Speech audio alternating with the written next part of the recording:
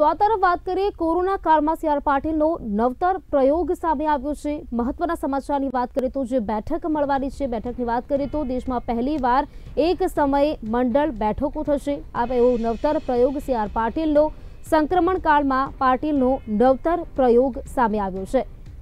તો વાત કરીએ કોરોના કાળમાં એક નવતર પ્રયોગ કહી શકાય વિધાનસભાની ચૂંટણી માટે ભાજપ પણ અત્યારે સજ્જ છે વિધાનસભાની ચૂંટણી ગુજરાતમાં જ્યારે નજીક આવી રહી છે ત્યારે હવે ભાજપ સજ્જ જોવા મળી રહ્યું છે ભાજપની પાંચસો ઓગણએસી મંડળની બેઠક પણ શરૂ થઈ ગઈ છે આ મંડળની જે બેઠક છે તે શરૂ થઈ ગઈ છે મિશન એકસો બ્યાસી સાકાર કરવા પાટીલનું પગલું જોવા મળી રહ્યું છે વિધાનસભાની એકસો બ્યાસી બેઠકો પ્રાપ્ત કરવા માટેનું આજે વાત કરીએ તો બેઠક મળવાની છે વાત કરીએ મહામંત્રી પ્રદીપસિંહ વાઘેલા પણ આ બેઠકમાં હાજર રહ્યા છે જે બેઠક થઈ હતી જેમાં પ્રદીપસિંહ વાઘેલા પણ હાજર હતા સી આર પાટીલના સંબોધન બાદ તમામ ઠેકાણે બેઠક પણ શરૂ થઈ છે ત્રણ મહત્વના મુદ્દાઓ અંગે આ બેઠકમાં ચર્ચા કરવામાં આવી છે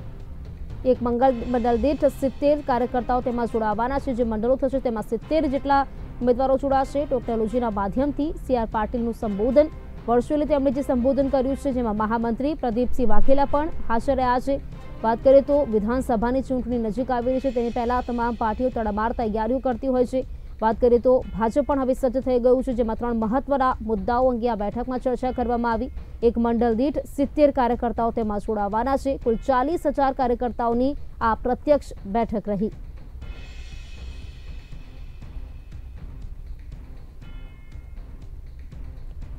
તો પાંચસો ઓગણસી પૂર્વ પદાધિકારીઓ વક્તવ્ય માટે તૈયાર એક જ સમયે પાંચસો ઓગણસી મંડળ બેઠક જે થઈ છે, લગભગ પાંચસો ઓગણએસી જેટલી આ મંડળ બેઠક, જેમાં વાત કરીએ તો વર્ચ્યુઅલી સીઆર પાટીલે તમામ લોકોને સંબોધન કર્યું છે. સાથે જ વિધાનસભાની ચૂંટણી જ્યારે આવી રહી છે, ત્યારે તેની તમામ તૈયારીઓના ભાગરૂપે આ બેઠક કરવામાં આવી છે. પક્ષના પૂર્વ પદાધિકારીઓ પણ તેમાં વક્તવ્ય આપવાના છે. પૂર્વ અધિકારીઓ, પદાધિકારીઓ આ વક્તવ્ય માટે તૈયાર છે.